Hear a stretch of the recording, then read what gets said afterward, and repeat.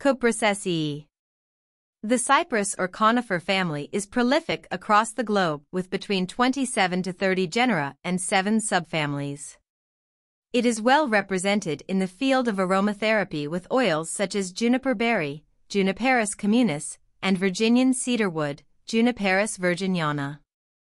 The plant's most obvious qualities include astringent, as well as being used for stress-related conditions, insomnia, and nervous tension. These oils are extremely effective at breaking down cellular tissue and are a favorite in the treatment of cellulite.